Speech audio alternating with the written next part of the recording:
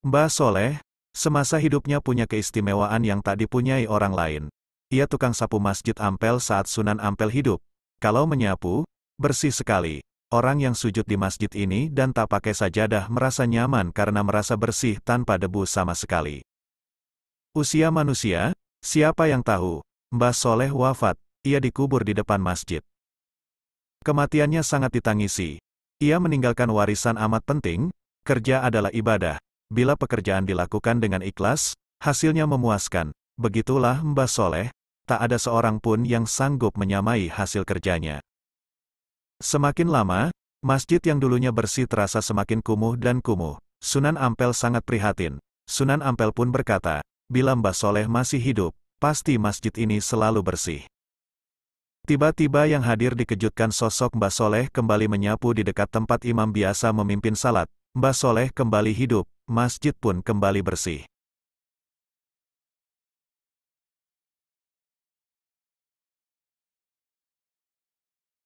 Assalamualaikum warahmatullahi wabarakatuh. Kita semua tentu telah sama-sama mengetahui bahwa Wali Songo adalah simbol penyebaran agama Islam di Pulau Jawa. Semua anggota Wali Songo lebih dikenal dengan nama gelarnya daripada nama aslinya. Dalam budaya Jawa, Sunan adalah singkatan dari susuhunan, yakni sebutan bagi orang yang diagungkan atau dihormati karena kedudukan dan jasanya di masyarakat. Sunan Ampel adalah seorang wali yang menyebarkan ajaran Islam di Tanah Jawa. Ia lahir pada tahun 1401 di daerah Campa. Beliau menjadi pemimpin wali Songo menggantikan Sunan Gresik yang wafat pada tahun 1419.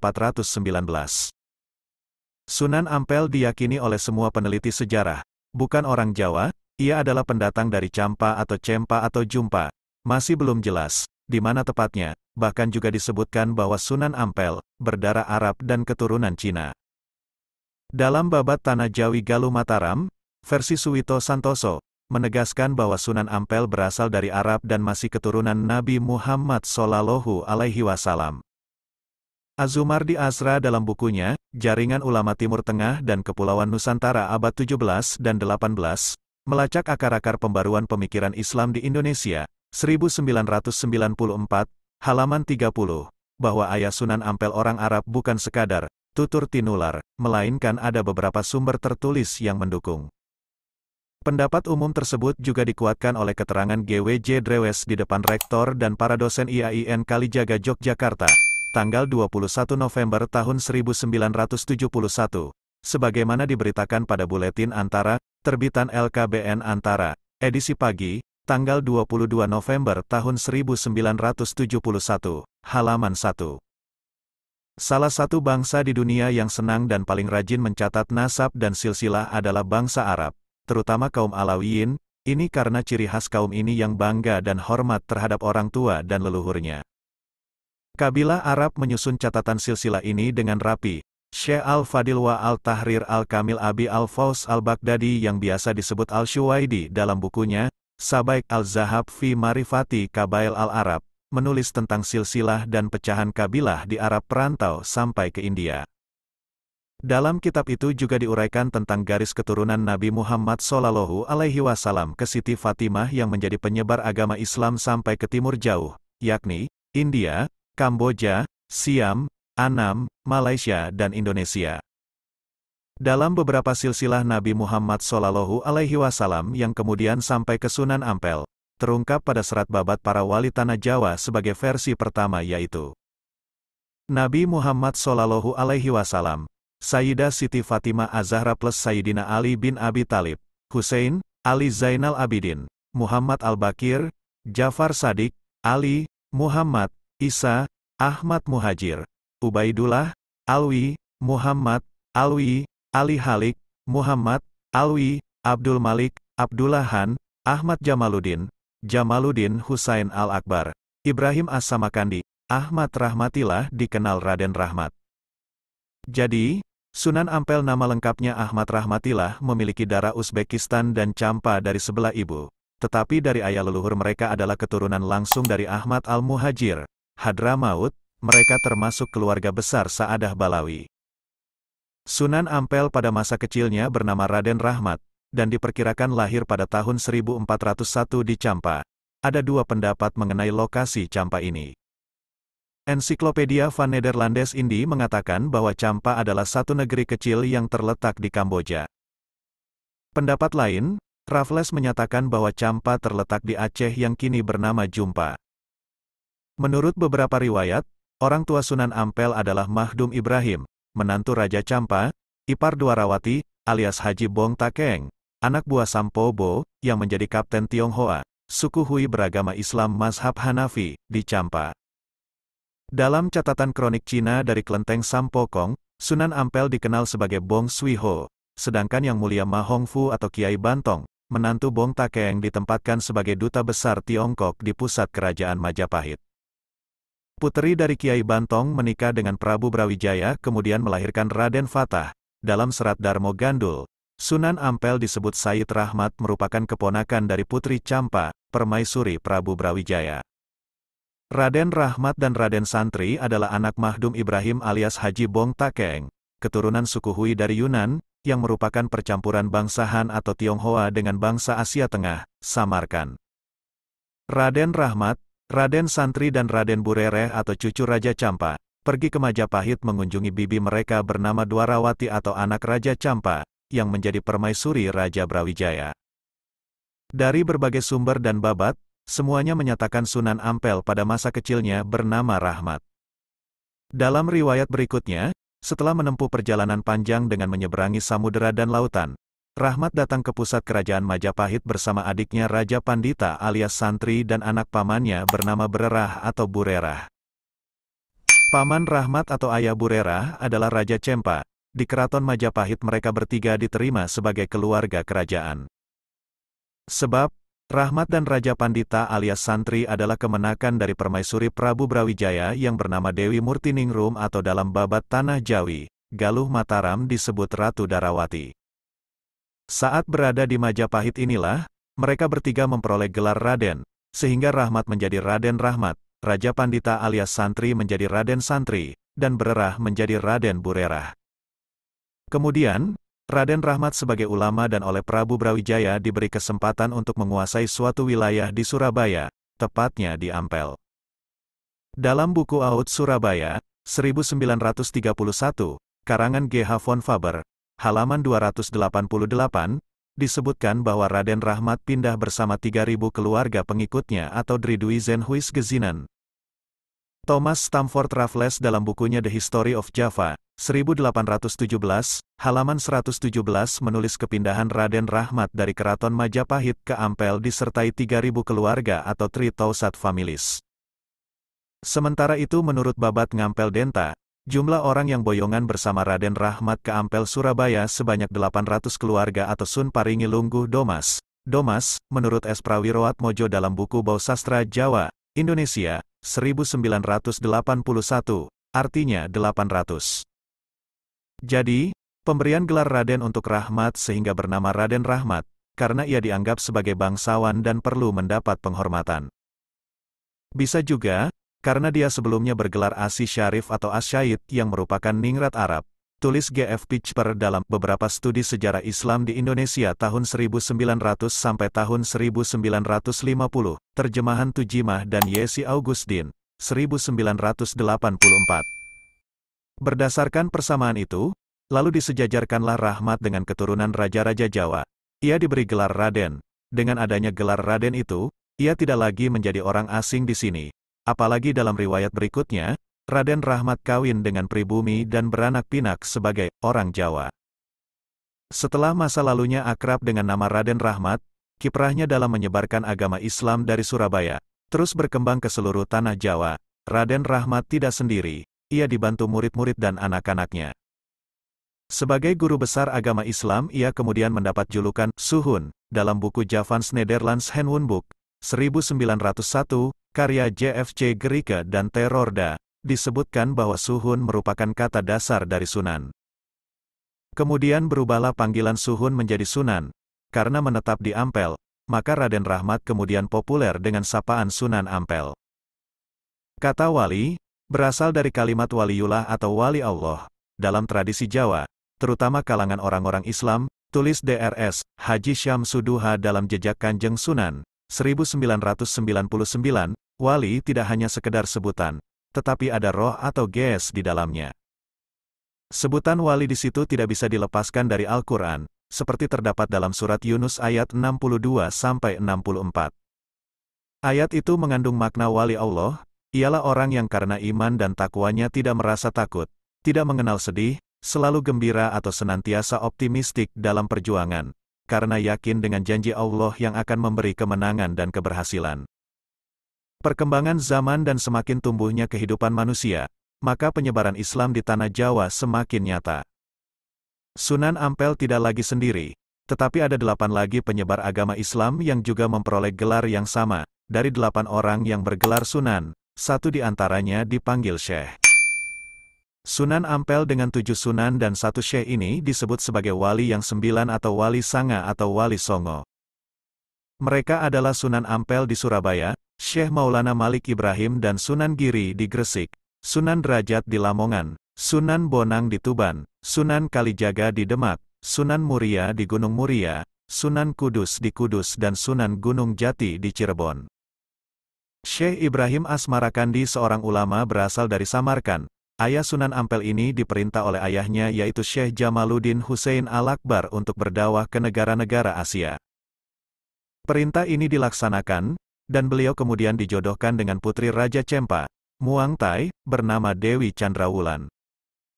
Dari perkawinannya dengan Dewi Chandrawulan, maka Ibrahim Asmarakandi mendapat tiga orang putra, yaitu Said Ali Ahmad Rahmatullah atau Raden Rahmat, Said Ali Murtado atau Raden Santri, dan Syekh Maulana Ishak. Adik Dewi Chandrawulan yaitu Dewi Dwarawati diperistri oleh Prabu Brawijaya Majapahit, sehingga Raden Rahmat itu keponakan Ratu Majapahit dan tergolong pangeran kerajaan. Pada saat itu kerajaan Majapahit sedang terjadi kemunduran. Hal ini membuat sang Prabu bersedih hati. Lebih-lebih lagi dengan adanya kebiasaan buruk kaum bangsawan yang suka berpesta dan berjudi serta mabuk-mabukan, sehingga mudah bagi musuh untuk menghancurkan Majapahit. Ratu Dwarawati mengajukan pendapat kepada suaminya, bahwa ia mempunyai keponakan yang bernama Said Ali Ahmad Rahmatullah, yang dapat mengatasi kemerosotan budi pekerti. Maka diberangkatkanlah utusan dari Majapahit ke negeri Cempa untuk meminta Said Ali Ahmad Rahmatullah datang ke Majapahit, lalu Raja Cempa tidak keberatan melepas cucunya tercinta ke Majapahit. Keberangkatan Said Ali Ahmad Rahmatullah untuk berdakwah ke Jawa ditemani oleh ayahnya, Syekh Maulana Ibrahim Asmarakandi, dan kakaknya, Said Ali Murtado. Ketika mereka sampai di desa Gesik Harjo Tuban, Syekh Maulana Ibrahim Asmarakandi jatuh sakit dan meninggal dunia. Hingga beliau dimakamkan di Tuban, Said Ali Murtado kemudian meneruskan dakwah ke daerah Nusa Tenggara, Madura dan sampai ke Bima. Di sana beliau mendapat sambutan Raja Pandita Bima, dan akhirnya berdakwah di Gresik mendapat sebutan Raden Santri, beliau wafat dan dimakamkan di Gresik. Sedangkan Sayyid Ali Ahmad Rahmatullah tetap meneruskan perjalanan ke Majapahit, menghadap Prabu Brawijaya. Setelah Sayyid Ali Ahmad Rahmatullah sampai di kerajaan Majapahit, Prabu Brawijaya meminta beliau untuk mendidik kaum bangsawan dan rakyat Majapahit, agar berbudi pekerti mulia. Setelah mendengar kesediaan Sayyid Ali Ahmad Rahmatullah, maka Prabu Brawijaya memberi tanah berikut bangunan di Ampel Deta Surabaya, di sanalah Said Ali Ahmad Rahmatullah mendidik para bangsawan, pangeran, dan rakyat Majapahit. Selanjutnya Said Ali Ahmad Rahmatullah menetap beberapa hari di Istana Majapahit, dan dijodohkan dengan putri Majapahit yang bernama Dewi Chandrawati. Dengan demikian, Said Ali Ahmad Rahmatullah adalah salah seorang pangeran Majapahit. Setelah Said Ali Ahmad Rahmatullah sampai di Ampel Denta, maka beliau membangun masjid dan pesantren, Prabu Brawijaya sangat senang atas hasil didikan Said Ali Ahmad Rahmatullah, sehingga diperbolehkan mendakwahkan Islam di seluruh Majapahit. Said Ali Ahmad Rahmatullah dikenal dengan sebutan Raden Rahmat, dan karena beliau menetap di desa Ampel Denta, menjadi penguasa daerah tersebut maka kemudian beliau lebih dikenal dengan nama Sunan Ampel. Pada tahun 1478 Masehi, Sunan Ampel meninggal dunia, Kemudian beliau dimakamkan di sebelah barat Masjid Ampel. Jasa Sunan Ampel sangat banyak, di antaranya sebagai pelopor lahirnya kerajaan Islam dengan rajanya yang pertama yaitu Raden Patah, murid dan menantunya sendiri. Beliau juga turut membantu mendirikan Masjid Agung Demak yang didirikan pada tahun 1477 Masehi. Dari perkawinan Sunan Ampel dengan Dewi Chandrawati atau Nyai Ageng Manila, dikaruniai beberapa orang anak yaitu, Maulana Makdum Ibrahim atau Sunan Bonang, Raden Kosim atau Sunan Derajat, Maulana Ahmad atau Sunan Lamongan, Siti Mutmainah, Siti Alwiyah, Siti Asikah atau istri Raden Patah. Adapun dari perkawinannya dengan Nyai Karimah Putri Kiwiryo Saroyo atau Kibang Kuning, Beliau dikaruniai dua orang putri yaitu Dewi Murtasia atau istri Sunan Giri dan Dewi Mursimah atau istri Sunan Kalijaga. Dalam versi yang lain dikisahkan, bahwa Syekh Jumadil Kubro atau Syekh Jamaluddin Husain, dan kedua anaknya, Maulana Malik Ibrahim As-Samarakandi atau Samarakandi, bukan Sunan Gresik, dan Maulana Ishak bersama-sama datang ke Pulau Jawa. Setelah itu mereka berpisah, Syekh Jumadil Kubro tetap di Pulau Jawa, Maulana Malik Ibrahim ke Champa Vietnam Selatan, dan adiknya Maulana Ishak mengislamkan Samudra Pasai. Di Kerajaan Champa, Maulana Malik Ibrahim berhasil mengislamkan Raja Champa, yang akhirnya merubah Kerajaan Champa menjadi Kerajaan Islam. Akhirnya beliau dijodohkan dengan Putri Champa, dan lahirlah Raden Rahmat, di kemudian hari Maulana Malik Ibrahim hijrah ke Pulau Jawa tanpa diikuti keluarganya. Raden Rahmat dilahirkan kira-kira dalam tahun 1401 Masehi di Campa, sebagai putra dari Raja Campa. Mengenai nama Campa ini berselisih para ahli sejarah. Kalau menurut ensiklopedia Van Nederlandes Indi, Campa ini suatu negeri kecil yang terletak di Kamboja. Akan tetapi Raffles, mengatakan bahwa Campa itu bukan di Kamboja, tetapi terletak di Aceh Sumatera, yang sekarang bernama Jumpa. Hal ini besar kemungkinan, mengingat bahwa Aceh dalam sejarah terkenal sebagai daerah pertama di Indonesia yang memeluk agama Islam. Menurut riwayat dikatakan, bahwa Sunan Ampel adalah putra dari Ibrahim Asmarakandi, yang dikatakan berasal dari Campa dan menjadi raja di sana, kemudian wafat pada tahun 1425 Masehi, serta dimakamkan di Tuban. Sunan Ampel datang ke Pulau Jawa pada tahun 1443, untuk menemui bibinya, Dwarawati, Dwarawati adalah seorang putri Campa yang menikah dengan Raja Majapahit yang bernama Prabu Kertawijaya. Sunan Ampel menikah dengan Nyai Ageng Manila, putri seorang adipati di Tuban yang bernama Arya Teja. Pada tahun 1479, Sunan Ampel mendirikan Masjid Agung Demak. Bukan menjadi rahasia lagi, bahwa Raden Rahmat atau Sunan Ampel yang menjadi perencana dari kerajaan Islam pertama di Jawa, yang beribu kota di Bintoro Demak, dengan mengangkat Raden Patah sebagai sultannya yang pertama. Negara baru di Demak itu adalah hasil rencana dari Sunan Ampel. Inilah jasa beliau yang besar. Semasa hidupnya beliau ikut pula mendirikan Masjid Agung Demak, yang dibangun kira-kira pada tahun Saka 1401 atau kira-kira bertepatan dengan tahun Masehi 1479.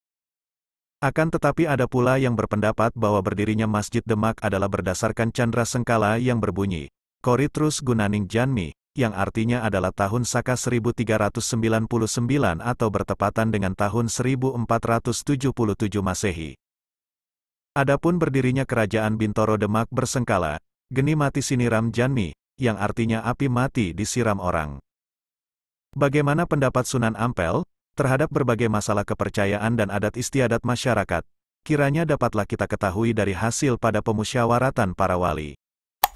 Pada waktu Sunan Kalijaga mengusulkan agar adat istiadat Jawa seperti selamatan, bersesaji itu dimasuki rasa keislaman, maka Sunan Ampel pun bertanya. Apakah tidak mengkhawatirkan di kemudian hari, bahwa adat istiadat dan upacara-upacara lama itu nanti akan dianggap sebagai ajaran Islam, sebab kalau demikian nanti apakah hal ini tidak akan menjadikan bitah? Pertanyaan Sunan Ampel ini kemudian dijawab oleh Sunan Kudus sebagai berikut.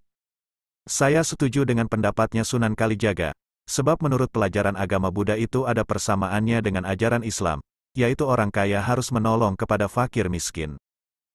Adapun mengenai kekhawatiran Tuan, saya mempunyai keyakinan bahwa di kemudian hari akan ada orang Islam yang akan menyempurnakannya. Adanya dua pendapat yang seakan bertentangan tersebut sebenarnya mengandung hikmah. Pendapat Sunan Kalijaga dan Sunan Kudus ada benarnya yaitu agar agama Islam cepat diterima oleh orang Jawa. Dan ini terbukti, dikarenakan dua wali tersebut pandai mengawinkan adat istiadat lama yang dapat ditolerir Islam, maka penduduk Jawa banyak yang berbondong-bondong masuk agama Islam.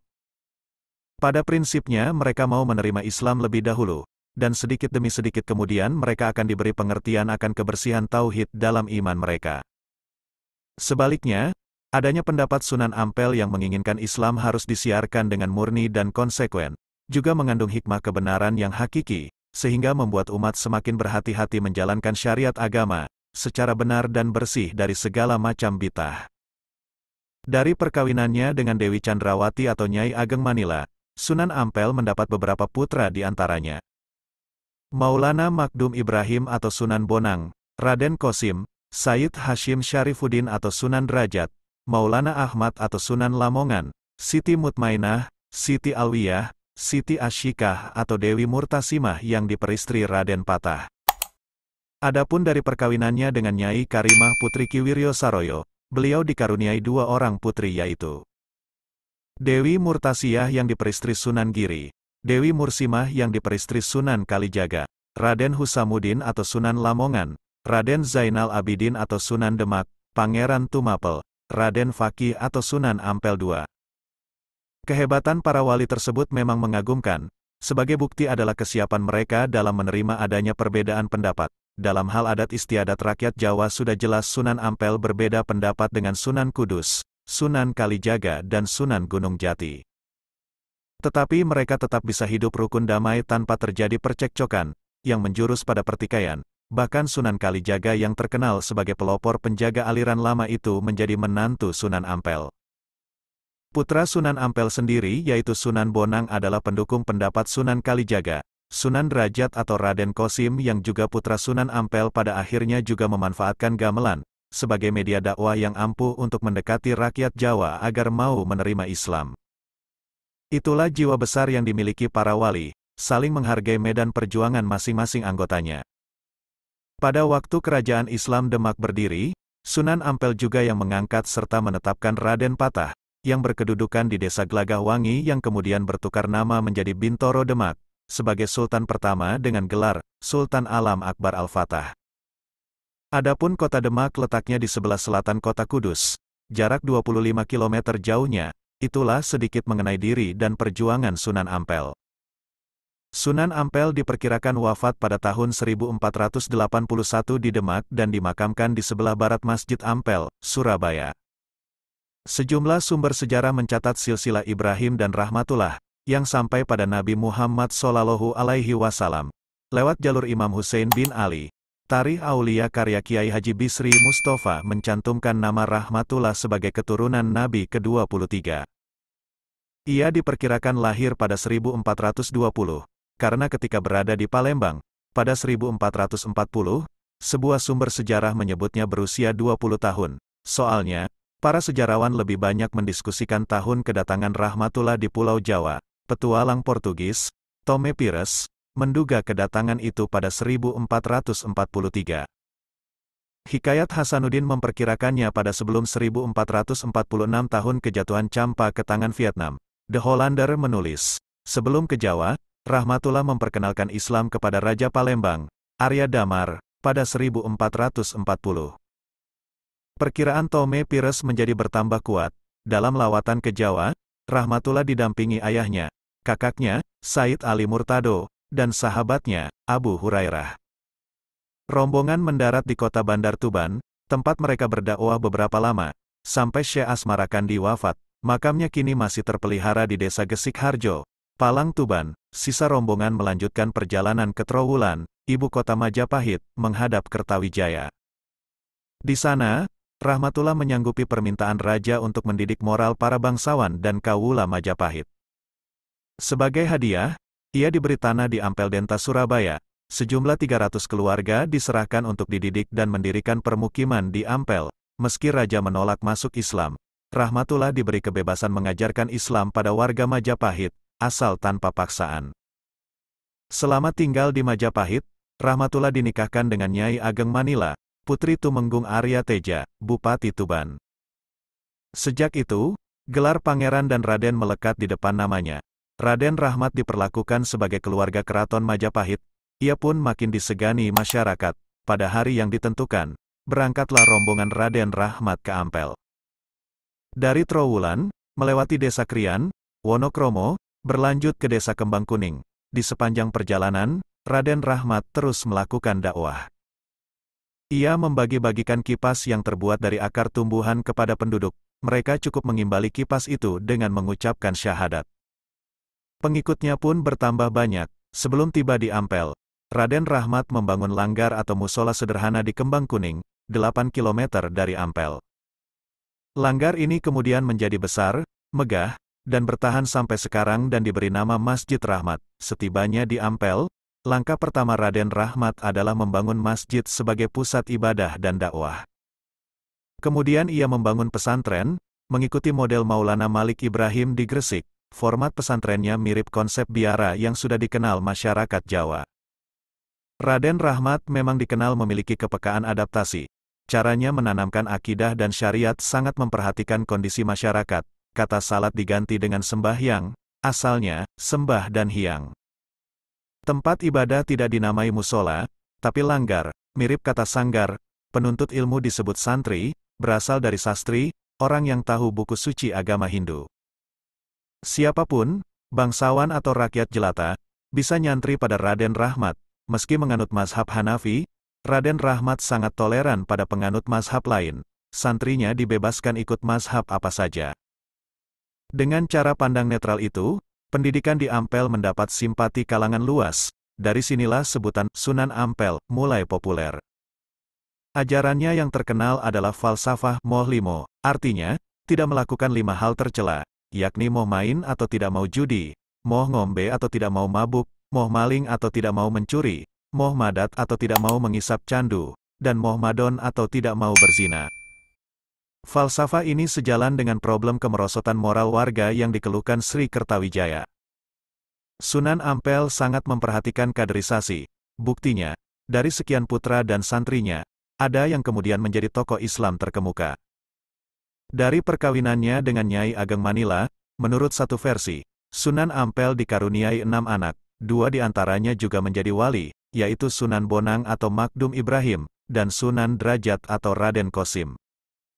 Seorang putrinya, Ashikah, ia nikahkan dengan muridnya, Raden Patah, yang kelak menjadi Sultan pertama Demak, dua putrinya dari istri yang lain, Nyai Karimah.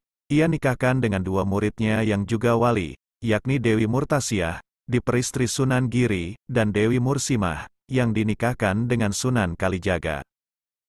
Sunan Ampel biasa berbeda pendapat dengan putra dan murid mantunya yang juga para wali. Dalam hal menyikapi adat, Sunan Ampel lebih puritan ketimbang Sunan Kalijaga. Sunan Kalijaga pernah menawarkan untuk mengislamkan adat sesaji, selamatan, wayang, dan gamelan. Sunan Ampel menolak halus. Apakah tidak khawatir kelak adat itu akan dianggap berasal dari Islam? Kata Sunan Ampel, nanti bisa bidah, dan Islam tak murni lagi. Pandangan Sunan Ampel didukung Sunan Giri dan Sunan Derajat, sementara Sunan Kudus dan Sunan Bonang menyetujui Sunan Kalijaga. Sunan Kudus membuat dua kategori, adat yang bisa dimasuki Islam, dan yang sama sekali tidak. Ini mirip dengan perdebatan dalam usul fikih, apakah adat bisa dijadikan sumber hukum Islam atau tidak, Meski demikian, perbedaan itu tidak mengganggu silaturahmi antar para wali. Sunan Ampel memang dikenal bijak mengelola perbedaan pendapat. Karena itu, sepeninggal Maulana Malik Ibrahim, ia diangkat menjadi sesepuh wali songo dan mufti atau juru fatwa setanah Jawa. Menurut satu versi, Sunan Ampel lah yang memprakarsai pembentukan Dewan Wali Songo, sebagai strategi menyelamatkan dakwah Islam di tengah kemelut politik Majapahit. Namun, mengenai tanggal wafatnya, tak ada bukti sejarah yang pasti, sumber-sumber tradisional memberi titi mangsa yang berbeda. Babat Gresik menyebutkan tahun 1481, dengan Chandra Sengkalang Ulama Ampel Seda Masjid. Cerita tutur menyebutkan, beliau wafat saat sujud di masjid. Serat Kanda edisi Brandes menyatakan tahun 1406, sumber lain menunjuk tahun 1478, setahun setelah berdirinya Masjid Demak. Beliau dimakamkan di sebelah barat Masjid Ampel, di areal seluas 1000 meter persegi, bersama ratusan santrinya. Kompleks makam tersebut dikelilingi tembok besar setinggi 2,5 meter. Makam Sunan Ampel bersama istri dan lima kerabatnya dipagari baja tahan karat setinggi 1,5 meter, melingkar seluas 64 meter persegi. Khusus makam Sunan Ampel dikelilingi pasir putih. Setiap hari, penziarah ke makam Sunan Ampel rata-rata seribu orang, dari berbagai pelosok tanah air. Jumlahnya bertambah pada acara ritual tertentu, seperti saat Haul Agung Sunan Ampel pengunjungnya membludak sampai 10.000 orang. Kalau makam Maulana Malik Ibrahim sepi penziarah di bulan Ramadan, makam Sunan Ampel justru makin ramai 24 jam pada bulan puasa. Terdapat kisah atau cerita dari dua murid Sunan Ampel. Sunan Ampel tidak banyak memiliki kisah mistis, tidak seperti beberapa wali yang lain. Barangkali karena orang Jawa tidak puas dengan itu, maka pengikut Sunan Ampel lah yang sering ditonjolkan memiliki kekuatan gaib. Kalau pembantunya saja sudah hebat, apalagi Sunan Ampel sendiri, kedua pembantu Sunan Ampel yang sering diceritakan mempunyai kekuatan gaib adalah Mbah Soleh dan Mbah Sonaji. Bila ke Surabaya, mampirlah di kompleks makam dan masjid Sunan Ampel. Tempat ini banyak menyimpan sejarah Islam di tanah Jawa, banyak kisah menarik di sini. Di antaranya kisah tentang Mbah Soleh, murid Sunan Ampel. Kisah Mbah Soleh erat kaitannya dengan sembilan kuburan yang ada di sebelah timur Masjid Agung Sunan Ampel. Mbah Soleh, semasa hidupnya punya keistimewaan yang tak dipunyai orang lain. Ia tukang sapu Masjid Ampel saat Sunan Ampel hidup. Kalau menyapu, bersih sekali. Orang yang sujud di masjid ini dan tak pakai sajadah merasa nyaman karena merasa bersih tanpa debu sama sekali. Usia manusia, siapa yang tahu? Mbah Soleh wafat, ia dikubur di depan masjid. Kematiannya sangat ditangisi. Ia meninggalkan warisan amat penting, kerja adalah ibadah. Bila pekerjaan dilakukan dengan ikhlas, hasilnya memuaskan. Begitulah Mbah Soleh, tak ada seorang pun yang sanggup menyamai hasil kerjanya. Semakin lama, masjid yang dulunya bersih terasa semakin kumuh dan kumuh. Sunan Ampel sangat prihatin. Sunan Ampel pun berkata, Bila Mbah Soleh masih hidup, pasti masjid ini selalu bersih. Tiba-tiba yang hadir dikejutkan sosok Mbah Soleh kembali menyapu di dekat tempat imam biasa memimpin salat. Mbah Soleh kembali hidup, masjid pun kembali bersih. Tapi lagi-lagi, Allah mencabut nyawa Mbah Soleh, lantas Mbah Soleh pun dikubur di samping kuburannya yang dulu. Sepeninggal Mbah Soleh, masjid kembali kotor, Sunan Ampel pun bicara seperti dulu, seandainya Mbah Soleh masih ada. Ajaib, Mbah Soleh kembali hidup dan bersih-bersih. Masjid kembali tak ditempeli debu. Dan Mbah Soleh, sekali lagi meninggal dan dikuburkan di dekat kuburannya yang lama. Masjid menjadi kotor kembali. Sunan Ampel kembali prihatin dan berucap bila Mbah Soleh hidup. Ya ampun, Mbah Soleh hidup kembali. Peristiwa itu berulang terus sampai delapan kali. Berarti Mbah Soleh hidup lagi kali ke delapan. Nah, pada kehidupan Mbah Soleh yang ini, Sunan Ampel wafat. Setelah Sunan Ampel wafat, Mbah Soleh menyusulnya, dan ia dikuburkan di dekat kuburannya dulu. Jadi, total kuburan Mbah Soleh ada sembilan, kuburan terakhir di ujung paling timur. Selain Mbah Soleh yang memiliki kisah fantastis, murid Sunan Ampel ada juga yang memiliki kisah yang juga ajaib, namanya Mbah Sonaji. Namun, ia sering pula disebut Mbah Bolong, makamnya ada di depan Masjid Agung Sunan Ampel. Kenapa Mbah Sonaji disebut Mbah Bolong? Begini ceritanya. Sewaktu pembangunan Masjid Sunan Ampel, Sonaji diserahi Sunan Ampel untuk memegang peran sangat penting, yakni mengatur lokasi pengimanan. Tentu saja peranan ini butuh keakuratan, tidak main-main. Tugasnya adalah menentukan posisi arah kiblat, jangan sampai melenceng satu mili derajat pun dari Ka'bah. Banyak orang meragukan kemampuannya menentukan posisi arah kiblat. Tak jarang orang minta bukti bahwa pengimaman pada masjid yang baru jadi itu benar-benar pas menghadap kiblat. Sonaji tidak marah meski kemampuannya diragukan. Ia melobangi dinding pengimaman dan meminta orang yang meremehkan untuk melihat ke dalam lubang. Astaga, orang yang melihat ke dalam lubang ternyata langsung melihat Ka'bah yang ada di Mekah. Sejak saat itu Mbah Sonaji mendapat julukan Mbah Bolong. Cukup sekian kisah dari Sunan Ampel kali ini. Kami mengucapkan terima kasih untuk Anda semua yang telah menyaksikan tayangan dari kisah ini. Salam hangat dari kami. Wassalam.